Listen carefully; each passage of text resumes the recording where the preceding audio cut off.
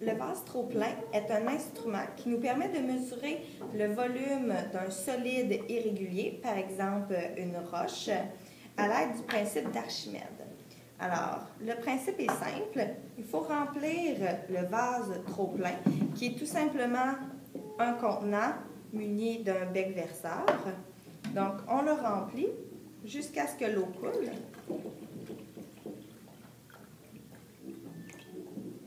Ensuite, nous attendons que le surplus de l'eau finisse de s'écouler. On se débarrasse de ce surplus d'eau.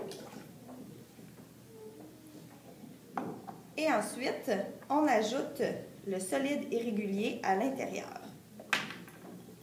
L'eau se remet à couler et selon le principe d'Archimède, la quantité d'eau qui se déplace est égale au volume de notre objet.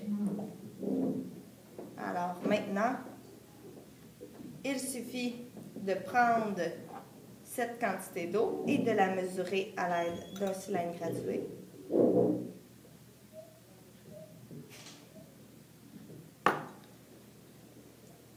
Alors, le volume d'eau est de 7,2 millilitres. On sait donc que notre roche a un volume de 7,2 millilitres, donc 7,2 cm3.